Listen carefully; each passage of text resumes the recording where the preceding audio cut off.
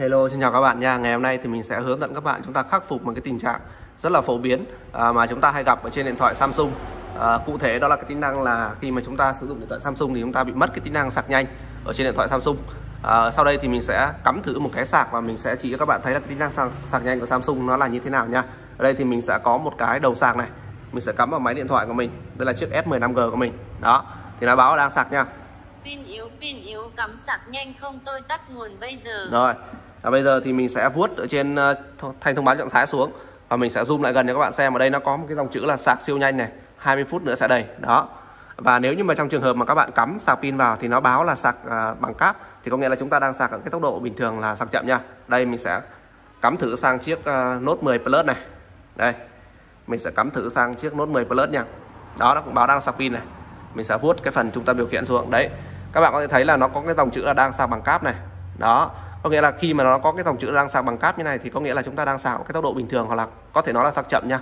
Đó. Và khi nào và mình sau đây thì mình sẽ hướng dẫn các bạn chúng ta khắc phục cái tình trạng là à, sạc chậm hoặc là nó thông báo cái tự dòng chữ là đang sạc bằng cáp ở trên điện thoại Samsung nha. Rồi. Đây mình sẽ cắm lại trên chiếc S10 5G cho các bạn xem. Đây chiếc S15G này.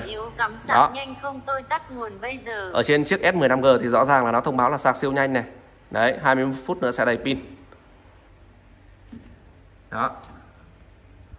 Rồi, và bây giờ thì mình sẽ hướng dẫn các bạn cách cách để chúng ta khắc phục cái tình trạng là à, điện thoại Samsung hoặc là điện thoại Android mà bị mất cái tính năng là sạc nhanh ở trên điện thoại nha. Bằng cách là chúng ta sẽ vuốt. Chúng ta sẽ truy cập vào cái phần là phần cài đặt ở trên điện thoại này. Đó.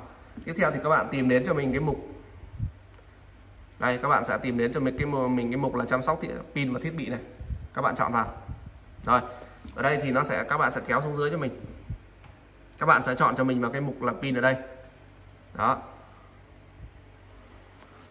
Các bạn chọn cho mình là cái mục pin nha. Rồi sau đó thì các bạn sẽ kéo xuống. Ở đây nó có một cái phần là cài đặt à, pin khác này các bạn chọn vào. Rồi đó. Ở đây trong cái mục là cài đặt pin khác thì nó có một cái mục đó là phần sạc nhanh này. Đó. Các bạn có thể thấy là trong cái phần sạc nhanh này nó đang được kích hoạt lên nha. Đó. Và nếu như mà các bạn tắt cái phần sạc nhanh này đi hoặc là cái phần sạc nhanh không dây này đi. Các bạn tắt hết hai cái tính năng này đi. Thì bây giờ mình sẽ cắm sạc lại cho các bạn xem nha. Đây mình sẽ cắm sạc pin lại cho các bạn xem. Khi mà mình tắt cái tính năng sạc nhanh đi thì nó sẽ như thế nào nha. Đây. Đấy, mình vuốt xuống này. Đó.